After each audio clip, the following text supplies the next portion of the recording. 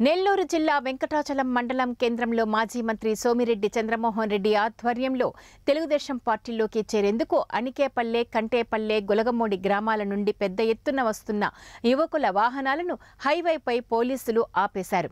దీంతో మాజీ మంత్రి పోలీసులకు ఈ నేపథ్యంలో వాగ్వివాదాలు చోటు చేసుకున్నాయి. కొంతమంది యువకులు టీడీపీలో చేరే ప్రయత్నంలో బైకులపై పోతూ ఉండగా పోలీసులు అడ్డుకున్నారు. ర్యాలీకి పర్మిషన్ లేదన్నారు. ఈ నేపథ్యంలో ఇరు వర్గాల మధ్య వాదోపవాదాలు జరిగాయి. ఈలోగా సోమిరెడ్డి అక్కడికి వచ్చి బైకులన్నీ రోడ్డు మీద బైకులన్నీ అడ్డంగా పెట్టిరండి ఏమి చేస్తారో చూస్తానన్నారు. దీంతో వివాదం సద్దుమణిగింది. ఇది ఇంత ఎందుకంటే దుర్మార్గం ఇంకోటి లేదు. నా నా రాజకీయ జీవితంలో నేను ఎప్పుడు ఇటు చూడలే.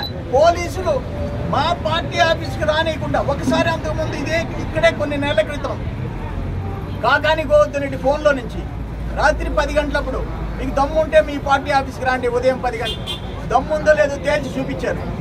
నీకు నీకేంటంటే ప్యాంట్లు తడిచిపోతుండే నీ పరిస్థితికి నీకు ప్యాంట్లు తడిచిపోతుండే పచ్చి అబద్ధాలు కోరు నువ్వు. పచ్చి అబద్ధాలు కోరు. నిన్న ముతుకూరుకు మేము పోతే యాభై మంది ఉండారంట చూపించమంటావా నా ఫోన్లో? ఎంతమంది ఉండేది? ఎంతమంది ఉండేది చూపించమంటావా? సిగ్గుండాలా? ఒక మంత్రి మంచి అబద్ధాలు చెప్పేదానికి సిగ్గుండాలా? వెయ్యి మందికి అక్కడ రాలే. ఏంటి? I mean package non fishermen package రాలే. నువ్వు నలభై మూడు వేలది ఇరవై ఐదు వేలు చేసావు. దానికి నిన్న మాట్లాడతాడు పచ్చి అబద్ధాలు కోరు. రెండు వేల తొమ్మిది జీవో ఇస్తే ఏం చేసావు అంటాడు?